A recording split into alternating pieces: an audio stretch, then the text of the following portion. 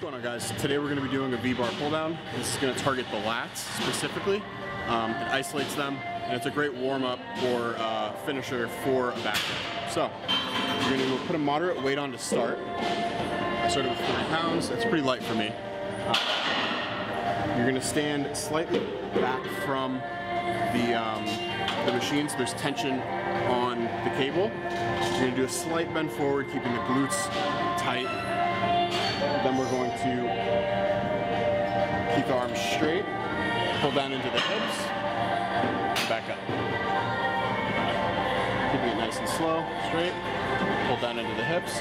And this one, you really want to push the elbows back to get that good squeeze on the lats throughout. Um, you can even take a step back, lean farther forward and get a good stretch.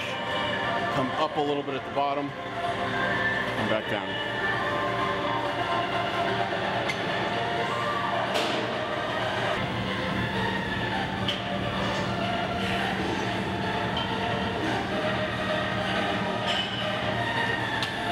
That, my friends, is how we do a V-bar pull down.